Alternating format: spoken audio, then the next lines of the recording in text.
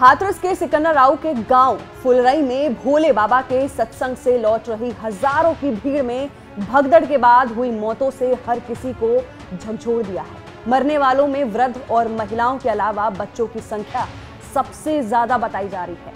मची भगदड़ के बाद सैकड़ों लोग ऐसे जो अपने लोगों को घंटों तक तलाशते रहे, तलाशते हुए तमाम लोग जब सिकंदरा राव के हॉस्पिटल आ गए तो चीखकार शुरू हो गई।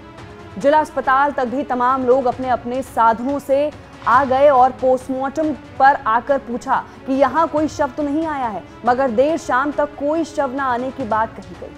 मंगलवार को मानव मंगल मिलन सद्भावना समिति की ओर से सत्संग का आयोजन सिकंदरा राव क्षेत्र के गाँव फुलरई में किया गया। भोले बाबा के सत्संग को लेकर कई दिन से फुलरई में साफ़ सफ़ाई बाबा के भक्त कर रहे थे। वहीं सुबह आयोजन से पहले हज़ारों लोगों की भीड़ सत्संग में आ गई। बाबा सत्संग के बाद अपनी लग्जरी गाड़ी से निकलने लगे, तभी हज़ारों की भी उसी रास्ते से निकलने लगी।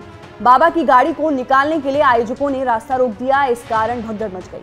हादसे के बाद जब लोगों की मौत मौके पर हो गई तो तमाम परिजन बेसुध होकर गिर गए। होश आने पर उन्होंने खुद को संभाला और अपनों को तलाशते नज़र आए। हादसे की सूचना पर कई एंबुलेंस मौके पर आ गई हैं और शवों को सिकंदरा राव के सामुदायिक स्वास्थ्य केंद्र पहुँचाया गया है। यहाँ भी भारी संख्या में श्रद्धालुजन अपनों को तलाशने आ गए हैं। हज़ारों लोगों की भीड़ जब जीटी रोड पर आई तो वाहनों को भी जहाँ के तहां रोक दिया गया। इस कारण तमाम श्रद्धालु हाईवे पर आकर बैठ गए, ताकि भीड़ को एक जगह काबू किया जा सके। फ़िलहाल इस अपडेट पर और भी अपडेट्स के साथ वापस लौटेंगे। मैं थी आपके साथ वंशिका सिंह और आप देख रहे हैं एबीपी लाइव